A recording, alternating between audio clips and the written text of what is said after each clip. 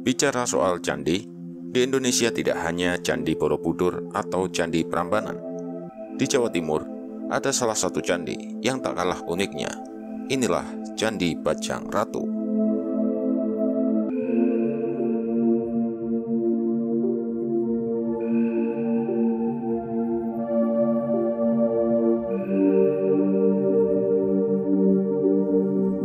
Bangsa Indonesia memiliki banyak kekayaan sejarah dan budaya.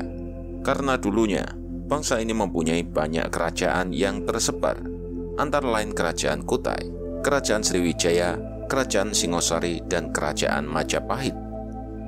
Bukti warisan budaya tersebut antara lain adalah artefak yang berbentuk arca, patung, hingga candi. Setiap warisan budaya memiliki nilai historis dan ilmu pengetahuan Salah satunya candi peninggalan kerajaan Majapahit, yaitu Gapura Bajang Ratu. Gapura Bajang Ratu, atau yang juga dikenal dengan nama Candi Bajang Ratu, adalah sebuah gapura atau candi peninggalan Majapahit yang berada di Desa Temon, Kecamatan Trawulan, Kabupaten Mojokerto, Jawa Timur. Untuk mencapai lokasi Gapura Bajang Ratu, pengunjung harus mengendarai sejauh 200 meter dari Jalan Raya Mojokerto Jombang kemudian sampai di perempatan Dukuh Lingo, berbelok ke arah timur sejauh 3 km di Dukuh Kraton, Desa Temon, Kecamatan Trawulan. Di sekitar lokasi Gapura Bajang Ratu di Trawulan, juga tersimpan banyak peninggalan bersejarah lainnya dari zaman keemasan Kerajaan Majapahit, salah satu kerajaan yang paling disegani. Nama Bajang Ratu pertama kali disebut dalam Audi Kunding Verslag atau OV tahun 1915. Arkeolog Sri Suyatmi Satari menduga nama Bajang Ratu ada hubungannya dengan Raja Jaya Negara dari Majapahit karena kata Bajang mempunyai arti kerdil. Menurut kitab Pararaton dan cerita rakyat, Jaya Negara dinobatkan tatkala masih berusia bajang atau masih kecil sehingga gelar Ratu Bajang atau Bajang Ratu melekat padanya. Mengenai fungsi candi, diperkirakan bahwa Candi Bajang Ratu didirikan untuk menghormati Jaya Negara.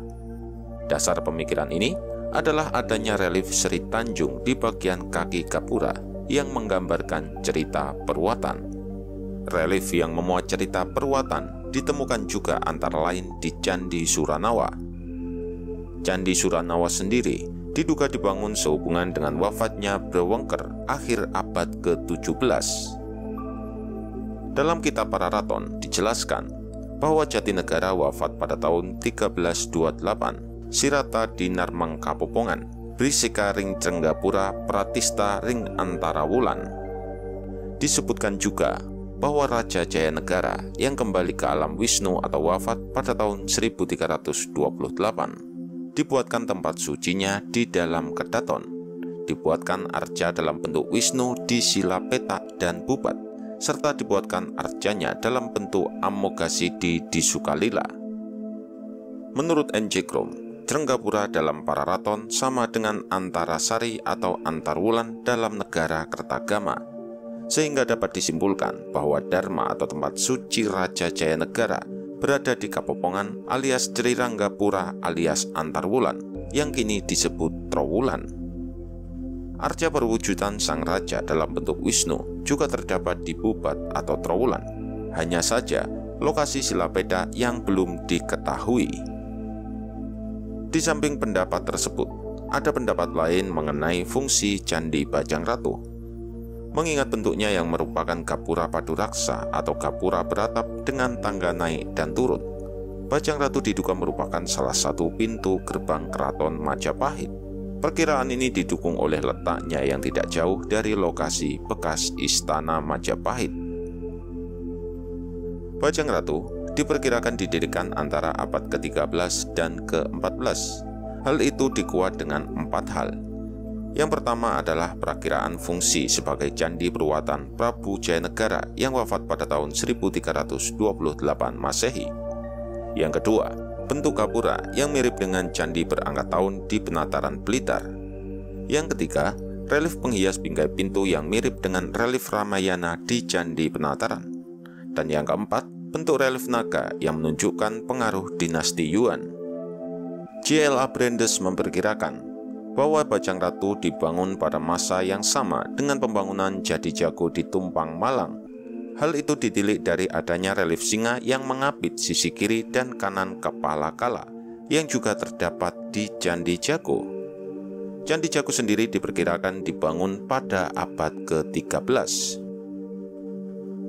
Menurut buku Dr. Andes Bagus L. Arnawa, dilihat dari bentuknya, Gapura atau candi ini merupakan bangunan pintu gerbang tipe Paduraksa atau Gapura beratap. Secara fisik, keseluruhan candi ini terbuat dari batu bata merah, kecuali lantai tangga serta ambang pintu bawah dan atas yang terbuat dari batu andesit. Candi Bajang Ratu berdiri di ketinggian 41,49 meter di atas permukaan laut dengan orientasi menghadap timur laut Tenggara. Denah candi berbentuk segi empat dengan panjang 11,5 meter, lebar 10,5 meter, dan tinggi 16,5 meter. Sedangkan lorong pintu masuk lebarnya 1,4 meter. Secara vertikal, bangunan ini mempunyai tiga bagian, yaitu kaki, tubuh, dan atap, yang mempunyai semacam sayap dan pagar tembok di kedua sisi. Struktur kaki kapura yang sepanjang 2,48 meter tersebut terdiri dari bingkai bawah, badan kaki, dan bingkai atas. Bingkai-bingkai ini hanya terdiri dari susunan sejumlah pelipit rata dan berbingkai bentuk genta. Pada sudut-sudut kaki terdapat hiasan sederhana, kecuali pada sudut kiri depan dihias relief yang menggambarkan cerita Sri Tanjung. Di bagian tubuh di atas ambang pintu terdapat relief hiasan kala dengan relief hiasan sulur-suluran dan bagian atapnya terdapat relief hiasan rumit berupa kepala kala di apit singa, relief matahari, naga berkaki, kepala garuda, dan relief bermata satu atau monopel cyclop. Fungsi relief tersebut dalam kepercayaan budaya Majapahit adalah sebagai pelindung dan penolak mara bahaya. Sedangkan pada sayap kanan terdapat relief cerita Ramayana dan pahatan binatang bertelinga panjang.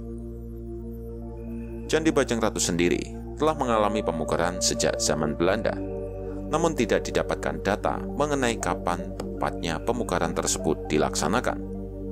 Perbaikan yang telah dilakukan mencakup penguatan pada bagian sudut dengan cara mengisikan adonan pengeras ke dalam celah-celah yang renggang dan mengganti balok-balok kayu dengan semencol.